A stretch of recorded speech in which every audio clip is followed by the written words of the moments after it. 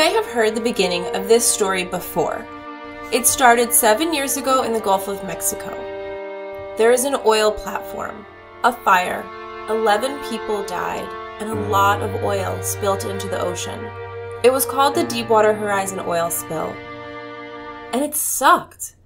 But despite all the bad, some good came out of this disaster scientific research.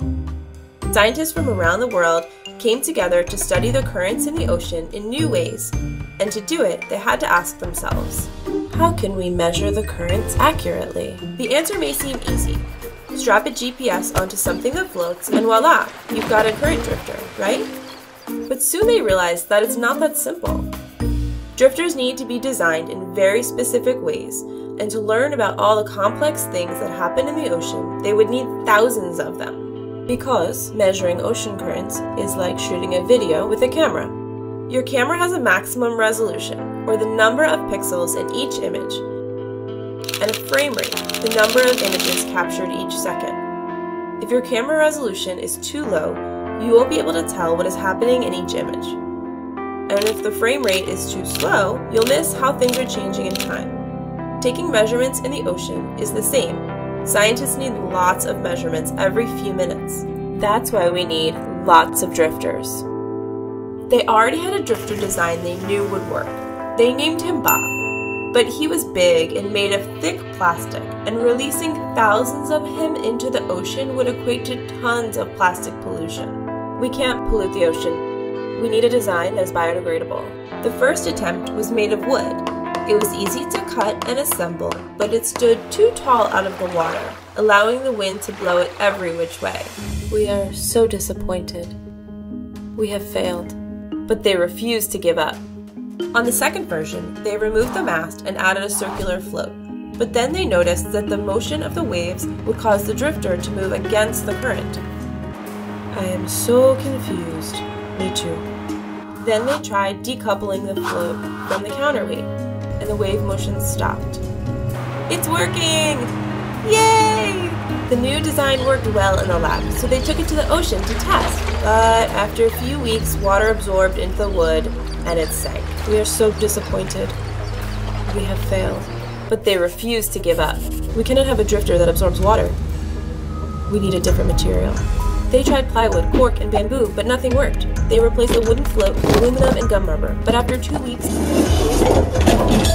they still sunk. We need something like plastic, but biodegradable. And after some research, they learned about polyhydroxy uh, or PHA, a type of polyester made of bacterial fermentation of sugar. With this, they could make a waterproof and biodegradable drifter that would slowly get eaten by bacteria in the sea. The scientists were happy. Yeah, yes! With a design that worked and a biodegradable material, they put thousands of them on a boat and journeyed out into the Gulf of Mexico. Out at sea, they assembled each drifter, one by one, part by part. Some of them went together easily, some less easily.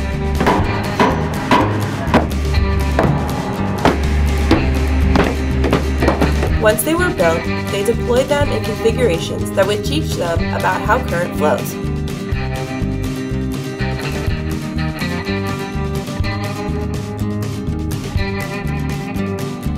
Sometimes they would do this in calm seas, and sometimes in stormy seas.